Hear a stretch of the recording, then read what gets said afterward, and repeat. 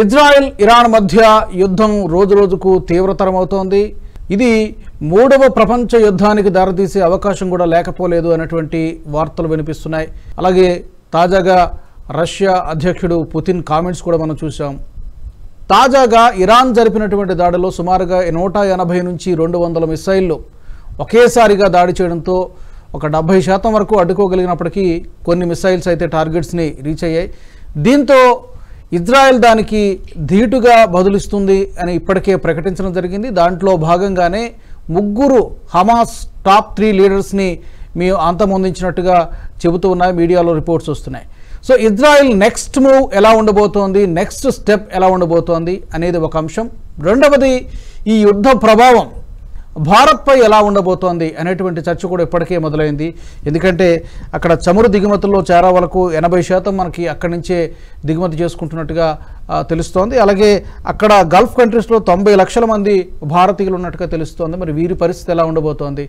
వీటన్నిటి మీద మనకి బ్రీఫ్ ఎనాలిసిస్ అందించడానికి అంతర్జాతీయ వ్యవహారాల విశ్లేషకులు మామిడి గిరిధర్ గారు అందుబాటులో ఉన్నారు. గిరిధర్ గారు నమస్తే అండి. రాజుగారు నమస్తే. నమస్తే. మీకు ప్రేక్షకులందరికీ నా నమస్కారాలు. గిరిధర్ గారు యుద్ధం రోజు రోజుకు తీవ్రతరం అవుతోంది మిసైల్స్ దాడులు చేస్తున్నాయి చాలా భీకరంగా కొనసాగుతోంది. మనకి లేటెస్ట్గా అందుతున్నటువంటి మీడియా రిపోర్ట్స్ చూస్తే ముగ్గురు top leaders Hamas top leaders అందులో ఒకరు రౌహీ ముస్తాహా అనే పేరు వినబడుతోంది. ఇతనితో పాటు మరొక ఇద్దరు టాప్ లీడర్స్ కూడా హ- హతమైనట్టుగా తెలుస్తోంది.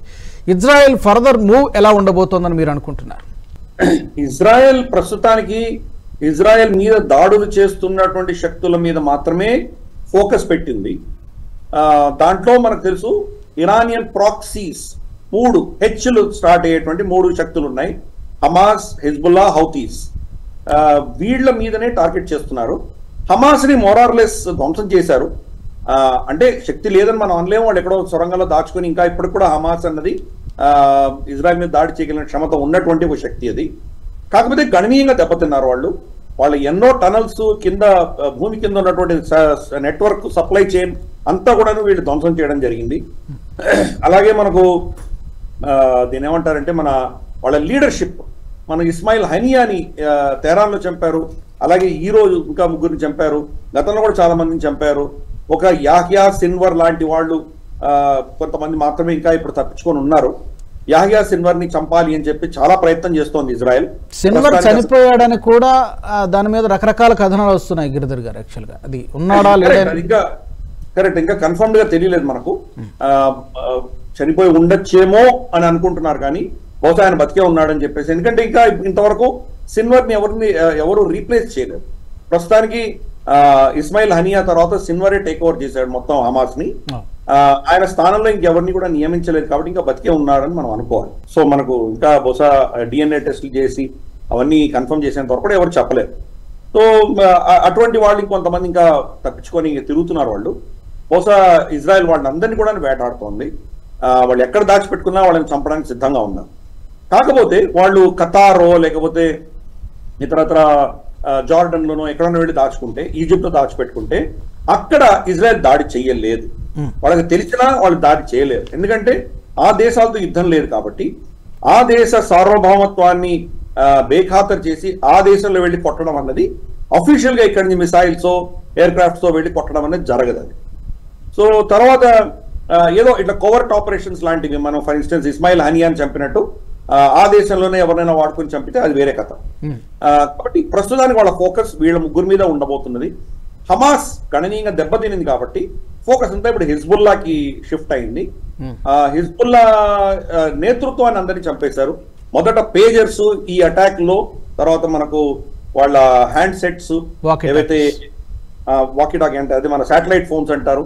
వాటినన్నిటిని వాడి వాళ్ళ middle level operatives middle level leaders అందరినీ చంపారు.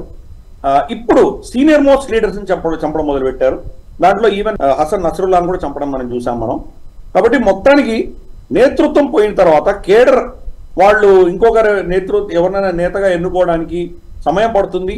వాళ్ళు కొత్త వాళ్ళు వచ్చినా కానీ పాత వాళ్ళకు ఉన్నటువంటి అవగాహన వాళ్ళకున్న ఇన్ఫర్మేషన్ సీక్రెట్స్ వీళ్ళకి తెలియకపోవచ్చు. కొంతకాలం పట్టొచ్చు వాళ్ళకి. అంతలోపు ఇంకొంత మనం దాడి చేసి ఒక బఫర్ క్లియర్ చేసుకుందాము. అంటే ఇజ్రాయెల్ బార్డర్ నుంచి కొన్ని కిలోమీటర్ల వరకు లోపల హిజ్బుల్లాకి ఎటువంటి శక్తి లేకుండా చేసే ప్రయత్నం ఇజ్రాయెల్ మొదలుపెట్టింది గ్రౌండ్ ఆఫీస్ మొదలుపెట్టింది. దౌర్భాగ్యవశాత్తు ఎనిమిది మంది సైనికులు చనిపోవడం జరిగింది. ఇజ్రాయెల్ సైనికులు కూడా చనిపోయారు. కాబట్టి ఇప్పుడు వాళ్ళ ఫోకస్ ఎంతో దాని మీదే ఉంటుంది. సరే ఇరాన్ వాళ్ళు ఒక నూట ఎనభై మిసైల్స్ వాళ్ళు ఫైర్ చేశారు ఇజ్రాయెల్ మీద. వీళ్ళకు ఉన్నటువంటి శక్తి ఏవైతే ఉన్నదో అవన్నీ కూడా ఇంటర్ప్రెట్ ఇంటర్సెప్ట్ చేసి చాలా మటుకు వీటిని పేల్చేసినా కానీ కూడా కొన్ని అవి వచ్చి ఇజ్రాయెల్లో పడ్డాయి. మనకు ఈవెన్ మొసాడ్ హెడ్ క్వార్టర్స్ దగ్గరలో పడి ఒకటి పేలింది అది కోర్స్ మొత్తం హెడ్ క్వార్టర్స్ ఏం అవ్వలేదు. కానీ ఓవరాల్గా ఇక్కడ పరిస్థితి ఏంటంటే ఇరాన్ కానీ ఇజ్రాయెల్ కానీ ఒక పెద్ద ఎత్తున యుద్ధం చేయడానికి ఇద్దరు సిద్ధంగా లేరు. ఒక మిసైల్స్ వేసి శాంతి కోసం మాట్లాడుతోంది ఇరాన్. అలాగే ఇజ్రాయెల్ ఆ, ఇజ్రాయెల్కి ఒక పాలసీ ఉన్నది. ఇజ్రాయెల్ మీద ఎవరైనా దాడి చేస్తే దానికి కంపల్సరీగా వాళ్ళు రిటాలియేట్ చేస్తారు. ఎందుకంటే చిన్న దేశం కాబట్టి వాళ్ళ మీద దాడి చేసిన వాళ్ళ మీద వీళ్ళు రిటాలియేట్ చేయకపోతే రేపు రిటాలియేట్ వీళ్ళ మీద దాడి చేసిన వాళ్ళు కొంత ధైర్యం తెచ్చుకొని మళ్ళీ రిటాలియేట్ మళ్ళీ వీళ్ళ మీద దాడి చేసేటువంటి ప్రమాదం ఉంది కాబట్టి వీళ్ళ ప్రిన్సిపల్ వాళ్ళ పాలసీ తిరిగి దాడి చేయక తప్పదు వీళ్ళు. అటువంటి పాలసీ ఒకటి పెట్టుకున్నారు ఇజ్రాయెల్.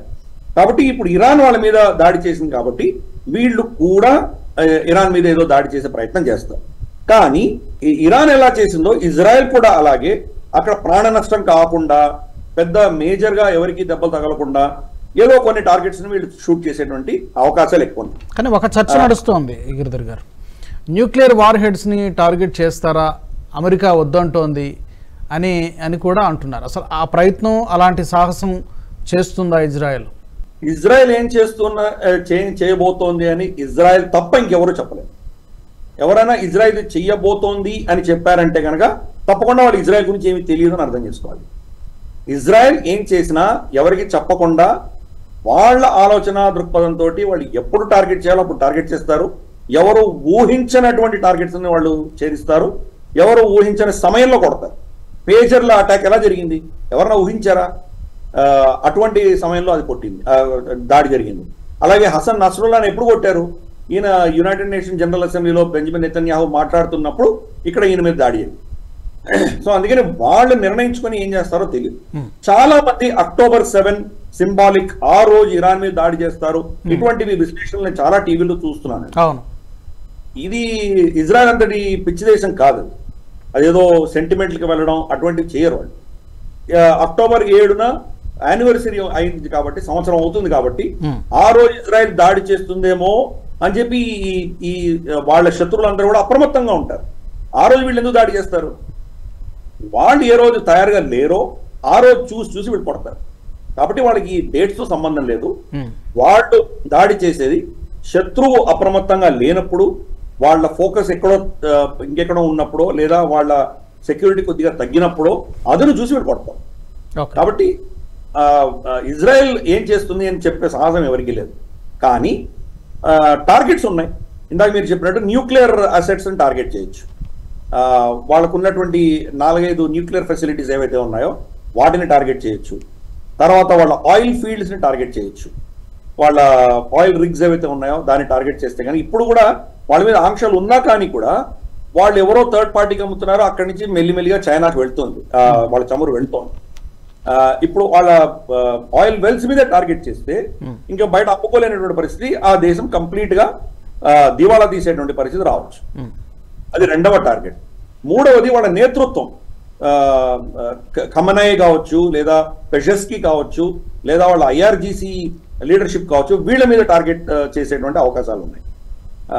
కాబట్టి వాళ్ళు స్ట్రాటజిక్గా ఎవరి మీద టార్గెట్ ఎలా చేస్తారు ఎప్పుడు చేస్తారు అని చెప్పడం చాలా కష్టం. ఈ రెండు నెలల లోపు ఏం చేసినా చేయాలి అని ఇజ్రాయెల్ భావిస్తుంది. ఈ వీడియో మీకు నచ్చినట్టయితే లైక్ చేయండి పది మందికి షేర్ చేయండి అలాగే కామెంట్ల రూపంలో మీ అభిప్రాయాలను మాతో పంచుకోండి. నేషనలిస్ట్ హబ్ గ్రూప్ ఆఫ్ ఛానల్స్ను సబ్స్క్రైబ్ చేసుకుని తెలుగునాట జాతీయవాద జర్నలిజాన్ని ప్రోత్సహించండి. ఈ వీడియో కింద ఉన్న బెల్ ఐకాన్ పై క్లిక్ చేయడం మర్చిపోవద్దు.